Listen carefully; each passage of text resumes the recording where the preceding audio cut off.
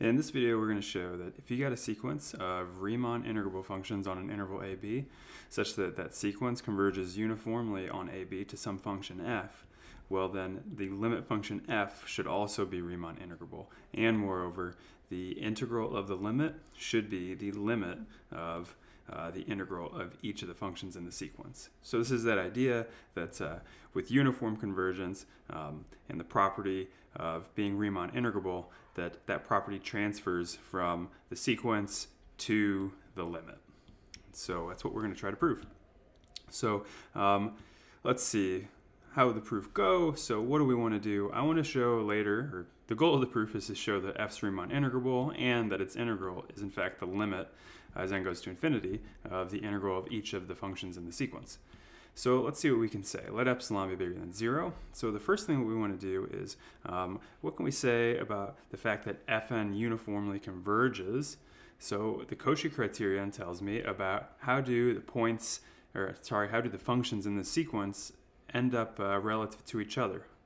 So what does that ensure? It ensures that given any epsilon, you can find some index n such that once you get past that index, the functions in your sequence all are going to be within epsilon of each other. So the functions are kind of clustering around something. So remember that idea um, is also going to apply for us that uh, our function converges, or sequence converges uniformly.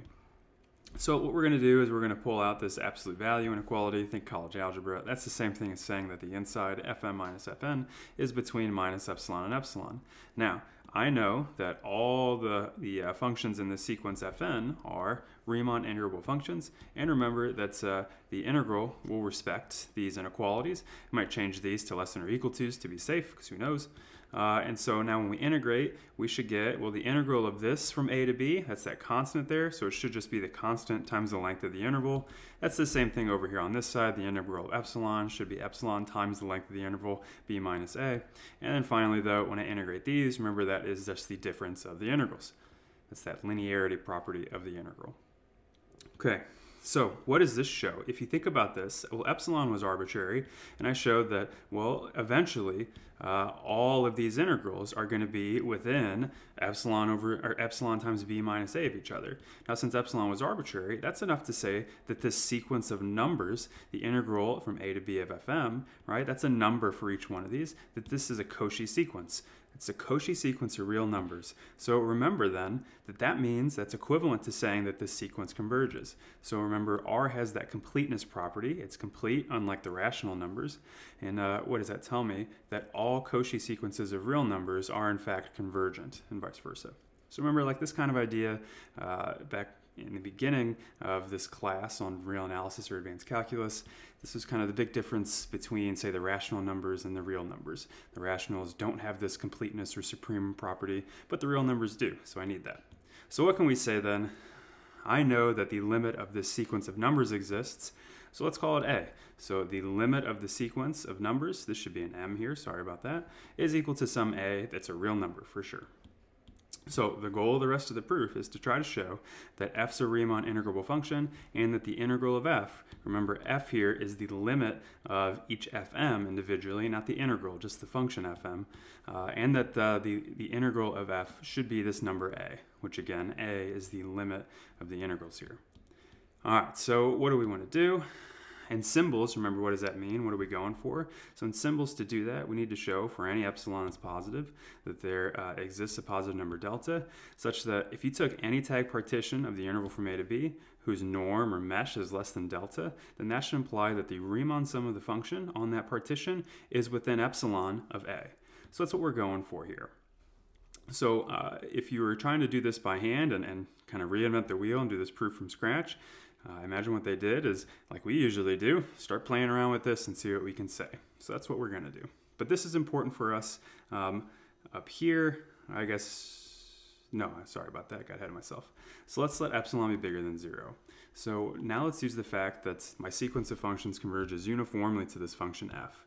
So that tells me that I can do some stuff with epsilon here, and I'll be able to give a statement about how close the functions in the sequence eventually should be to f. So what does that tell me? Well, that says that, well, there should exist some natural number k such that for all indices past that, the functions in your sequence should be within epsilon of f, and that needs to hold for every single x in the interval. Remember, that was the big thing about uniform convergence, where this k only depends on the epsilon, and, it, and this statement is going to hold for every single x in the domain of these functions here. Okay, so now let's bring in a tag partition. Just as P is any tag partition, we'd normally denote it by here is what the typical subintervals look like, where the xi's are the partition points, and the ti's are the tags. Those are the things that we're going to plug into the function. If you're like me, you always want to think about, or I guess you'd like to think about the integral as uh, some kind of an area. So think about this is like going to give me the, the length, and this is going to give me the height of like some rectangles. Of course, if the function's not positive, that doesn't make sense. Anyway, though, so I've just got a typical tag partition from this interval over a to b. So what have we got? Well, if m is an index that's bigger than this k, then it ensures that the sequence of functions is within epsilon of the limit function for all x in the interval. Let's look at what happens when I think about the difference in the Riemann sum of the Riemann sum of my sequence of functions on this partition and the Riemann sum of my limit function. So if I was to just do some algebra and combine those sums together, that would look like, well, the sum of, so this would be the difference in their heights, and this would be uh, times xi minus xi minus 1, that's like the length of the subinterval. And we're going to add each of these up. So uh, what can we say? Well, these absolute values by the triangle inequality applied a bunch of times say, I know that those can move inside of here, and I'll change this to a less than. So by the triangle inequality, absolute value of the sum should be less than or equal to the sum of the absolute values here. And I don't need absolute value around these because I know that xi is to the right of xi minus 1. That's how partition works. And uh, what else can I say now? Well, wait a minute. I know that I'm very far out in the sequence. I'm very far out. I'm past this index k, and that index k guaranteed me that, oh, the function fm evaluated at any point in the interval minus my function f evaluated at any point is less than epsilon. So that this part right here should be less than epsilon. So that is where the uniform convergence comes in to help me.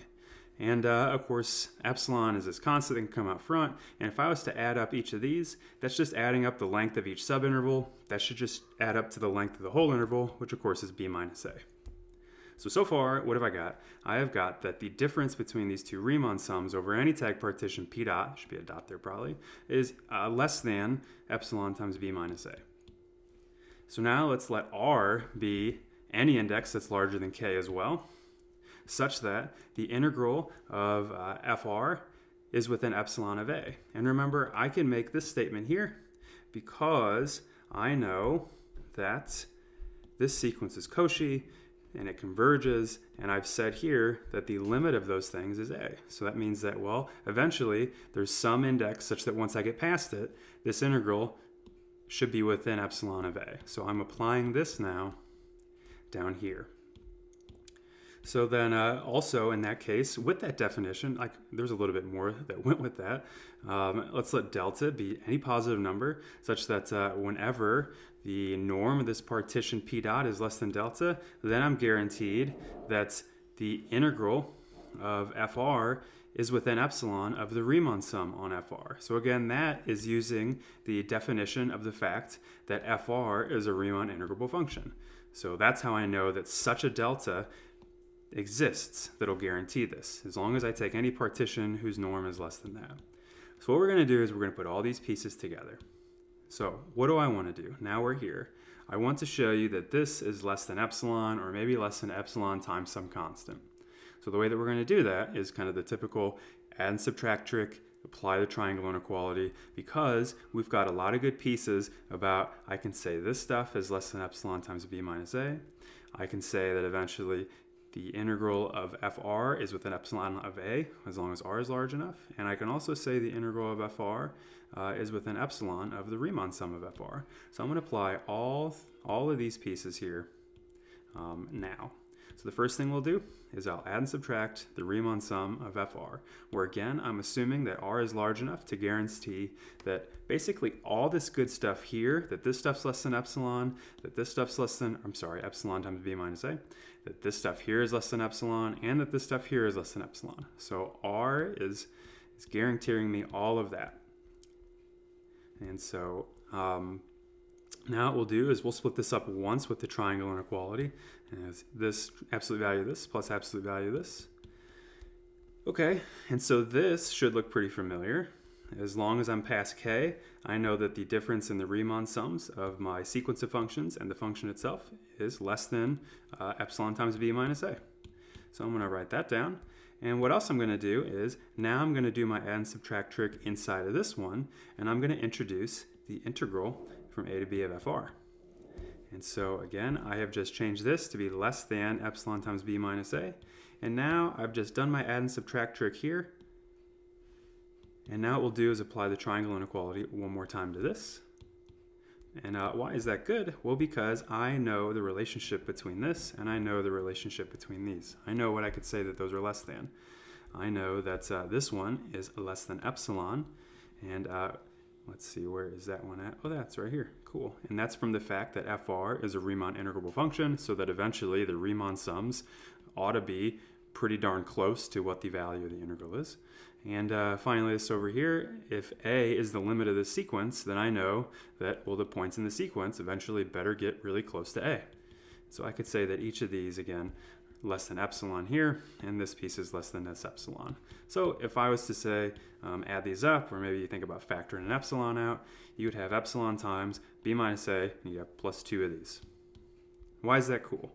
So we just showed for any epsilon, we found a delta such that as long as the norm of the partition is smaller than that delta, then I get that the difference between the Riemann sum of the function f on any partition, again with small enough norm, and this number a is less than epsilon times b minus a plus 2. And maybe you're like, oh, b minus a plus 2, a and b are constants, so this is just epsilon times some constant. So the fact that epsilon's arbitrary is really cool because that says that, well, this difference is actually arbitrarily small. So again, we could have made this pretty. We could have picked this delta to be so small uh, to maybe make this just wind up with epsilon at the end. You could think about how you could do that. But the point though, since epsilon was arbitrary, again, this difference then is actually arbitrarily small. Therefore, the function f is in the set of Riemann integrable functions. And moreover, what is the actual value of the integral? Well, it's got to be this number a that the Riemann sums are getting arbitrarily close to. So that shows again that uh, the limit of the integrals is going to be the integral of the limit of the functions.